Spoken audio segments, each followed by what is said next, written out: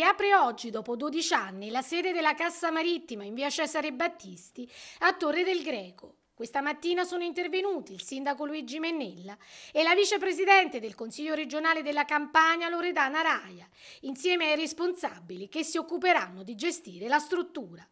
Grande la soddisfazione dei lavoratori del mare. Dopo 12 anni di sofferenza, siamo un'altra volta a essere assistiti al nostro paese, un paese di origine. Spero, spero che sia una cosa duratura e non succeda niente di più. Questo è l'auguro a tutti i marittimi radiosi. Quali sono stati i problemi in questi anni?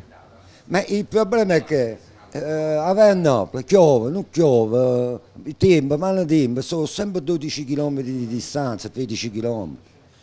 E poi eh, stavano tutti in regione là, erano casini, invece qua vedo che adesso forse è più, è più svelta la cosa. Sono contentissimo, così non dobbiamo andare sempre a Napoli e abbiamo una cosa nostra qui a Torre del Greco, che è una cosa importantissima. Eh, è una cosa buona per tutti noi, eh, almeno abbiamo la nostra cassa marittima a Torre del Greco, anche se usufruiamo di Napoli, era una cosa buona, però adesso ce l'abbiamo a Torre è ancora meglio. Quali sono stati i problemi in questi anni con l'assenza della cassa marittima? No, no, problemi no, problemi che, che dovevamo andare a Napoli, comunque noi dovevamo fare cassa marittima, malattia per noi stessi, quindi andavamo a Napoli e non è che il problema era Napoli, il problema è che noi ce l'avevamo a Torre e quindi usufruiamo della nostra cassa marittima a Torre, questo è.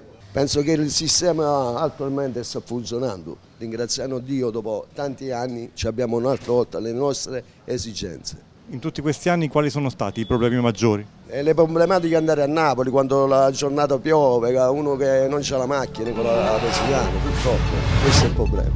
Però ringraziando al nostro comune, al sindaco e a tutti gli assessori e tutti quelli là che si sono mossi per questa macchina che hanno messo in moto.